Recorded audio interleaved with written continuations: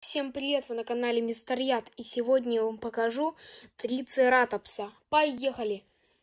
Трицератопс или трехрогий ящер – один из самых известных динозавров. Рогами он мог нанести опасные раны соперникам и оборонялся от хищников.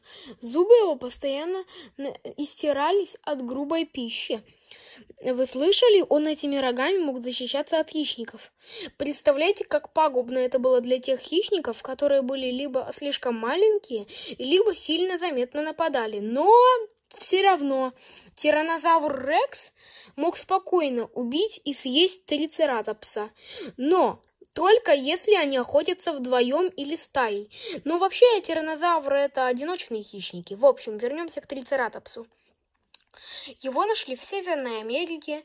Он был растительно ядный, весил 12 тонн, в длину был 9 метров, а в высоту 3 метра. Представляете? 12 тонн. Гораздо тяжелее, чем тиранозавр. Еще у этого трицератопса, ну, вообще-то, смотрите на него. Видите, у него был на голове как, как воротник. Он, скорее всего, был нужен его для того, для привлечения самок. Чем больше этот гребень, тем красивее этот наш трицератопс. От грубой пищи. Вы заметили, его зубы постоянно истирались от грубой пищи. Он не всегда ел листья.